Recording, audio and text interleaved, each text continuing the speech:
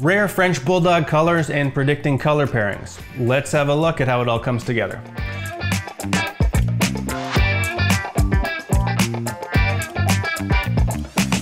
Hey everyone, Justin here with BluFrenchibles, and today we're going to have a look at how rare colors combine and how you can predict which colors will be displayed on a French Bulldog litter.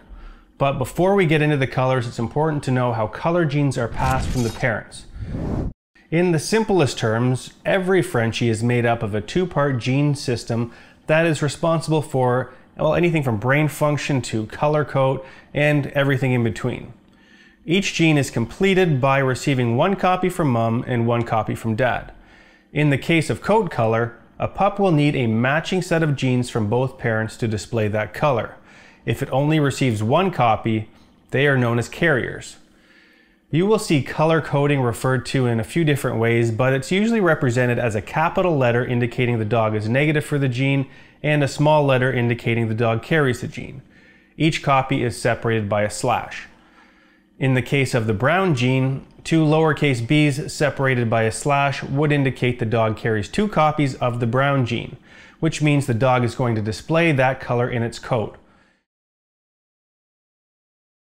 In the case of two capital B's separated by a slash, the dog would not carry the brown gene at all, and it would be impossible to produce offspring showing that color. Now, if the dog shows a lowercase b and an uppercase b in either order, that would indicate the dog carries only one copy of the gene. The brown color would not appear in its coat, but it would pass along copies of the brown gene to 50% of its offspring. Continuing with the example of brown and returning to visibly brown Frenchies, they are again represented as little b little b as it carries both copies of the color gene. When it comes to reproduction, it will pass along a copy of brown to all of its offspring, and if this dog is mated with another visibly brown Frenchie, every dog will be born with a complete pairing of the little b brown gene, and they will also show that color. A carrier, again represented as little b big B, will only pass along the brown gene 50% of the time. So when paired with a visibly brown dog, which would be carrying two copies, you will only produce that color half of the time. If you pair two carriers together, the odds are multiplied together and it would give you a 25% chance of producing a dog that has two copies of the color. This type of two pairing system holds true across other various color genes such as blue, cocoa, and cream. If a dog carries two copies of multiple colors, you'll end up getting different combinations or find one color dominating the other. In the case of a dog with two copies of blue and two copies of cream, the cream gene will dominate and white is pretty much all you'll see. In other instances, the Frenchie will produce more rare colors such as Isabella, Lilac, and Platinum.